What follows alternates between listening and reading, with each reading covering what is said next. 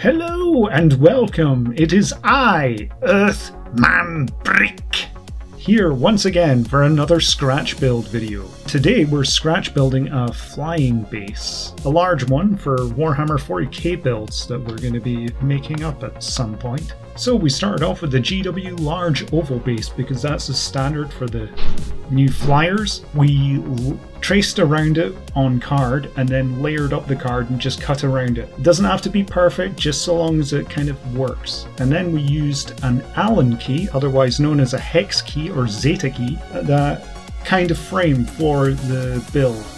And I used a shelf bracket as well and then just weighed it down with washers or hex nuts, whatever works for you. Now we're going to be using a similar. Oh my goodness, cat. We're we're going to be using a similar uh, technique as we used for the industrial bases here, which is to add on a lot of panels, which we've made in previous videos before. Now here we've got we've added cork sheet as well as scrim tape and card in order to make up the ruins for these, so you get the general gist.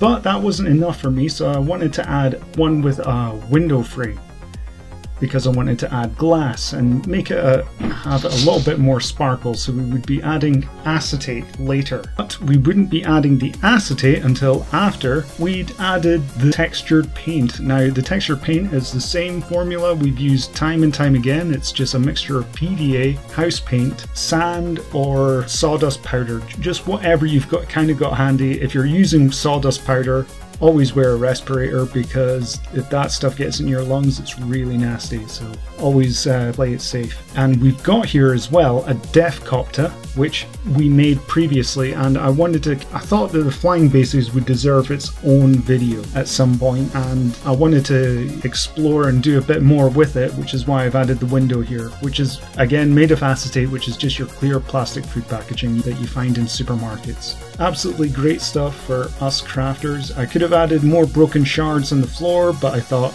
you know what, it works.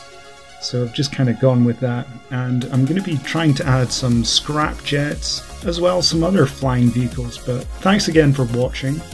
Hope you enjoyed the video. If not, give it a thumbs down. Not that I'll know, because YouTube have hidden that whole aspect now. But thanks very much for watching, and if you've got any questions, just ask in the comments below.